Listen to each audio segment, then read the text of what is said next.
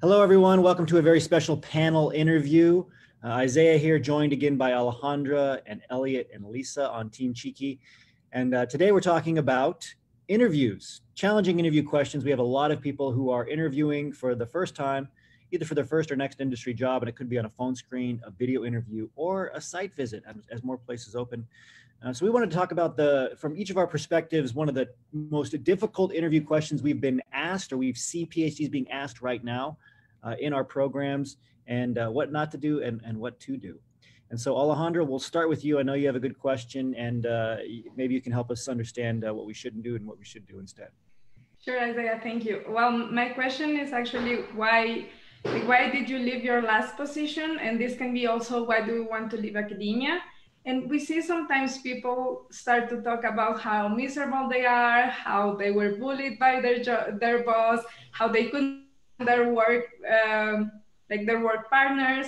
And this is something you never want to do because think you're interviewing with your future boss and nobody is going to want to hire if they think like this is what they are going to talk about me when they leave this position. So not even subtle things like we didn't see eye to eye or just make it about you and make it about them. So you can say it wasn't right for me anymore. It made step it makes sense as a step to what i wanted professionally but it was always my main goal like my final goal to come work with you. And that way you're not saying anything about your employer you're talking about your path, you're showing that you want to grow, and you're also reminding them that you want to work for them, which is in the end what they want to hear.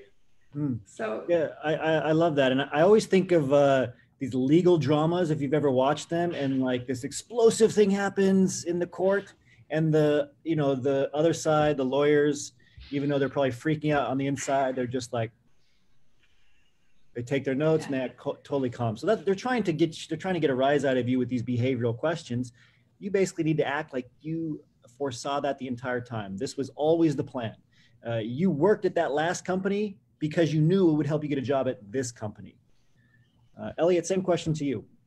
Yeah, basically, like sort of reiterating sort of what Alejandra said. Another sort of thing that keep seeing and companies will ask that people get stuck up on is like, why do you want to work here? Why do you want this position? Like, what you know, what about this excites you? And you not you want to make sure that you're going through and acting as if you know very assertive like this is you know i want to work here because this is like my goals. I want to transition into here. You don't want to go through and being like well i just need to get out of academia. It's horrible there. Like again those sort of things. You always want to go through in the positive aspects of things. You don't want to talk negative about anything like previous job or how you're mistreated in academia how you're undervalued and you want to go somewhere. You want to bring forth all those like I have these skills and I want to go through and actually bring these skills to your company because it can excel because it'll help me meet my goals and you meet your goals and like together this is going to be great. So you want to make sure that when you're coming through you're saying like I have these things I want to add them to your company because it's going to push me forward and it's going to push you forward. Right. Yeah, I think these rationale questions we're seeing become more and more popular. Uh, people want to know why you know it's in it's even in pop culture now. Uh, the books start with why you hear about people talking about why their purpose etc uh, employers are interested. They want to know what your why is. Why do you want this job not another job? Why do you want this position not another position? Why do you want this company not, not another company? Uh, lisa how about you? Well thank you. So alejandra and elliot um, both shared really great examples and i can definitely remember when i was going through my interview process and i answered all of those questions the wrong way because um, I thought my perspective was wrong.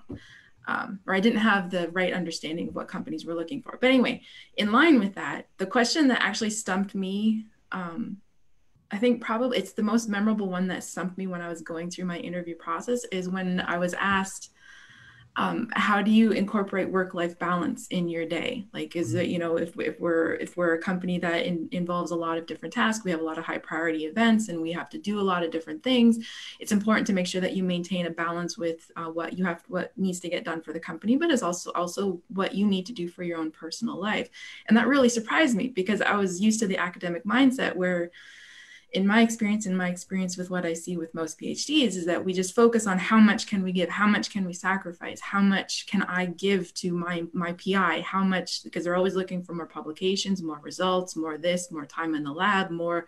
They're always looking for more. Like that's the academic culture, which is very different than industry. Industry is focused on finding people that are like well-rounded people. They're they are interested in both working really well for the company getting helping the company move forward help the company to succeed in what they want like what the mission is which is yeah. why it's so important to make sure that you align your mission your strategy your approach your goals along with um, the company so when you're answering these questions you want to make sure that you are demonstrating that you're a well-rounded person you're going to focus on getting the company helping the company move forward. You're going to also focus on making sure that you can, are sustainable like your efforts are sustainable. You mm-hmm. also want to make sure that um, you demonstrate that you're a fun person to have around on the team right? Because there's like all these like interactions and engagements and and so, and that's why we always tell people our members to focus on including transferable skills on their resume in your linkedin profile include a hobby an interest in your linkedin profile because this is all going to show just how